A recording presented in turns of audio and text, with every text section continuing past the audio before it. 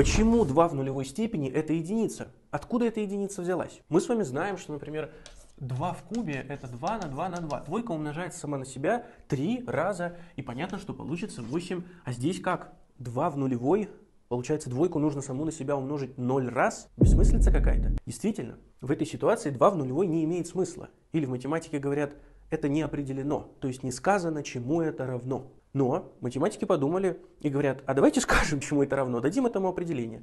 Такое определение и дали, что 2 в нулевой, пусть оно будет равно единице. То есть ответа в классическом смысле, почему это единица, ответа такого нет. Потому что оно равно единице по определению, точно так же, как прямые параллельные не пересекаются по определению. Здесь то же самое. Но порассуждать, почему дали именно такое определение, мы с вами можем. 2 в нулевой, можно сказать, что это 2 в степени 3 минус 3.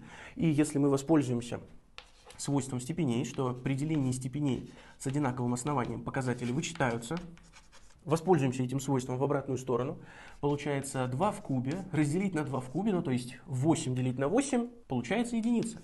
Ну, математики так и сказали. Ну, раз получается единица, пусть будет единица. Стоит подчеркнуть, что для нуля в нулевой степени. Такие рассуждения не прокатят, потому что тогда нолик будет в знаменателе, а на ноль делить нельзя. И в классическом все-таки школьном подходе говорят, что вот эта запись не имеет смысла, она не определена.